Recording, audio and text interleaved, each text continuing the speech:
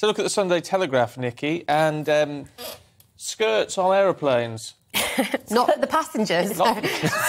Mandatory skirts. on Yeah, no, basically. So you, prob- you might have seen that story about um, Virgin Airlines saying that they were going to get rid of gendered uniform policies and that their male cabin staff could now wear skirts if they wanted to. Well, British Airways, fearing, I don't know, some kind of recompense if they don't do the same, has actually said they're also reviewing their uniform policy.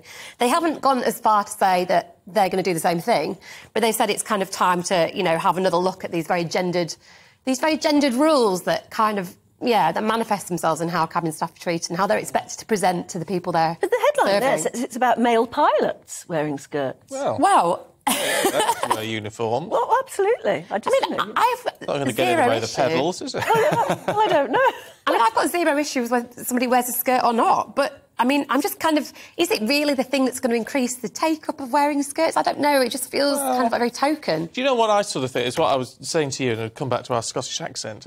is that is that um, I can imagine, and I could be wrong, but I can imagine there are plenty of you at home watching or listening, saying, "Well, they shouldn't be wearing. What's going on? The world's gone mad. Why should they all be wearing skirts? These fellas."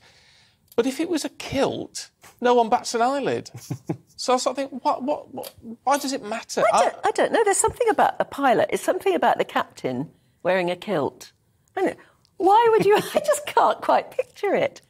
yeah, I don't But know. lady pilots, obviously, uh, lady. I mean, they. Um, Well, I bet they wear trousers. I think they don't. The ones I've seen, yeah. But I think they can wear either, can't they? They've got the choice. Got So the it's about choice. the, the issue is the choice.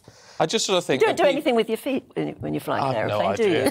I don't the know. accelerator, Your legs are more brake. free. I, I just sort of think I can imagine people throwing their arms up in the air saying, "Why should men be wearing hmm. skirts?" But isn't it marvellous when we sit, you know, we buy our porridge oats and there's a man on the front with a kilt? Yeah.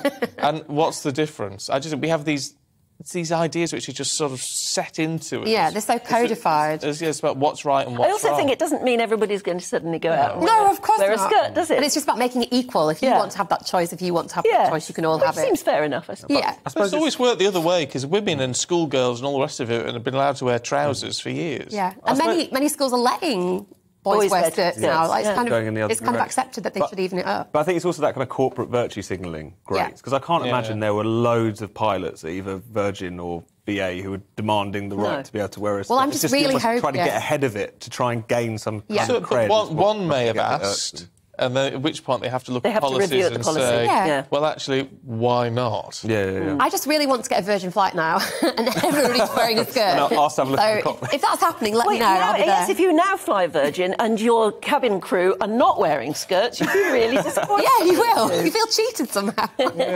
But I don't know. I just I'm with you, Nicky. on that. I just think, well, who, Yeah. who cares? Can you do your job? Can you Well, look after me? Yeah, just hmm. wear what you like. That's the it's only Virgin recently allowed your tattoos to be showed. Really? Yeah, Gosh. Right. that's the new yeah, thing. I It's find like- that strange too.